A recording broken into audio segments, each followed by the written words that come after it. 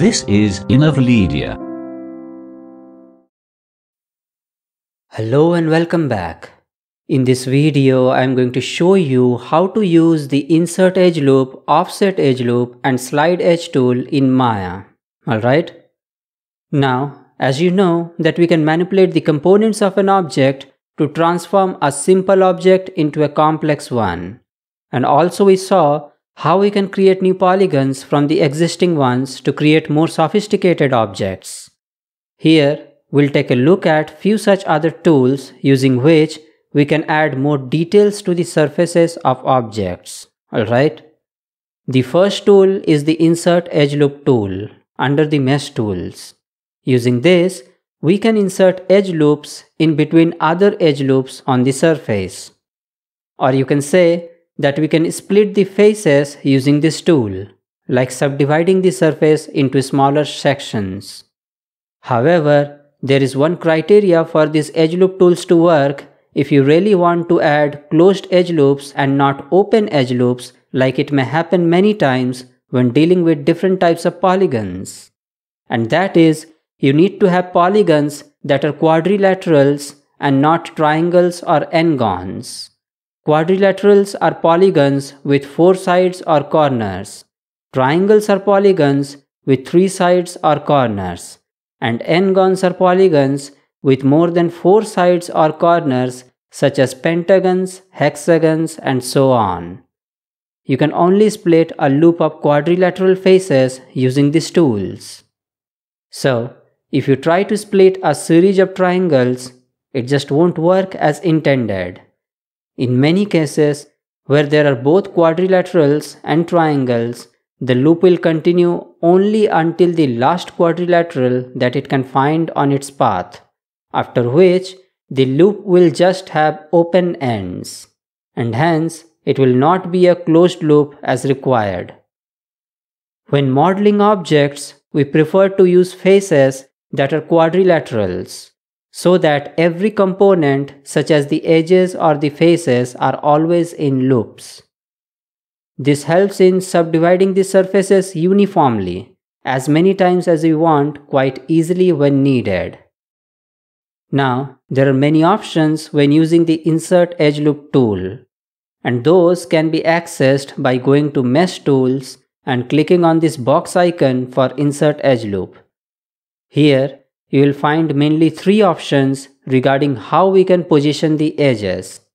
The first option is the default one, where you can simply click and drag on the edges to insert an edge loop wherever you want and leave the mouse button to confirm its position.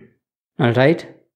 In this, relative distance means that the edge loop will be positioned relative to the spacing of the surrounding edges. You can simply say that it is calculated in percentages rather than in exact numbers.